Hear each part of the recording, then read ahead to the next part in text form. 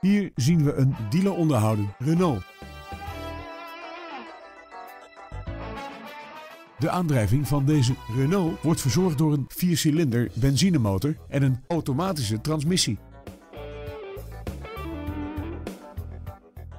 Op de accessoirelijst van deze auto vindt u onder meer cruise control, een navigatiesysteem en hoofdsteunen achter. Deze auto wordt geleverd met het Renault Top Occasion 12 maanden Occasion label.